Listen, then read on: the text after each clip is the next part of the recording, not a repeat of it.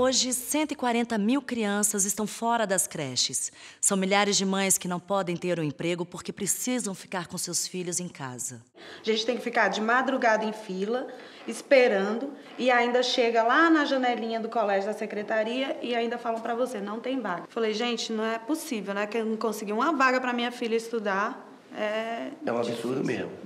Tem uma meta no Plano Nacional de Educação que diz que para o Brasil colocar 50% das suas crianças de 0 a 3 anos até 2022 em creches. Nós queremos atender essa meta aqui no Distrito Federal em quatro anos. E eu necessitava trabalhar, porque eu via na situação da minha casa, o meu marido desempregado, e aí eu vi falar do ensino integral.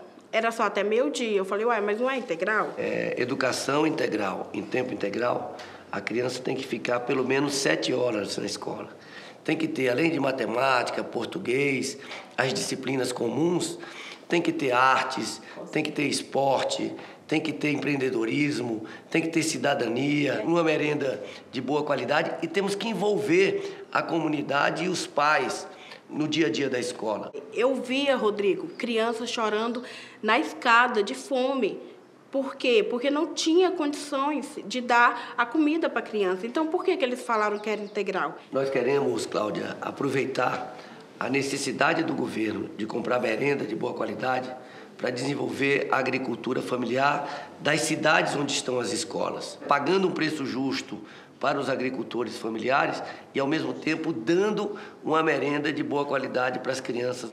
E a gente pensa na educação integral em tempo integral, fazendo parceria com a comunidade local, né? especialmente com a área da cultura, com a área do esporte, e ao mesmo tempo você vai estar apoiando né, atividades que existem nas cidades e que precisam de apoio. Nós vamos precisar contratar professores, tenha dúvida. Né? Educação integral em tempo integral vai exigir a contratação de mais professores. Agora, tudo isso tem que ser feito com valorização do professor.